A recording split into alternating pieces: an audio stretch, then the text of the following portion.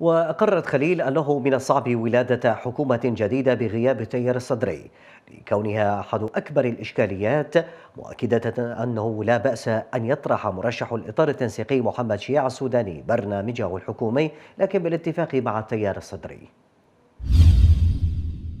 هل ستكون هناك أو ستمضي حكومة بدون التيار الصدري؟ يعني هذه صعبة جدا. أنا أشوفها منظور شخصي أنه من الصعب جدا لأنه هو الفائز الأول وينسحب من البرلمان وبالتالي يأتي غيرهم إلى البرلمان ويشكل الأغلبية وبالتالي يقصى التيار الصدري. يعني هذه حقيقة صعبة جدا في العراق. ونحن نعرف بأنه السيد الصدر أيضا جمهوره واسع وكبير.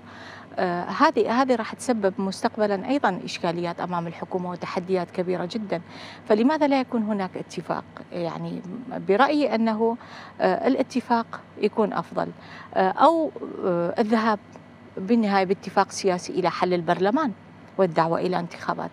كحل يعني إذا بقي هذا الانسداد. أما الذهاب إلى كسر إيرادات وإبعاد جهة فأعتقد أنه هذا يعني لن يكون في صالح العملية السياسية برمتها. يعني لا بأس في أنه يطرح برنامجه لكن يجب الاتفاق مع التيار الصدري. يعني هل هو اتفاق بين كل الأطراف الشيعية؟ لأنه نحن حريصون دائما في الحزب الديمقراطي الكردستاني على أنه دائما المكونات تتفق فيما بينها وتحصل على اتفاق وتوافق. وبالتالي نحن نكون معهم يعني حتى بالنسبة للإخوة من السنة عندما اتفقوا على أن يكون السيد الحلبوسي هو رئيس البرلمان بالتالي يعني ليست لدينا اعتراضات صح. أن يتفق البيت الشيعي على أن يكون سواء السيد محمد شياع أو غيره ليست لدينا ليس لدينا فيتو على أي شخصية أو أي اسم لكن أن يكون هناك قبول. اتفاق عليها وقبول من جميع الأطراف حتى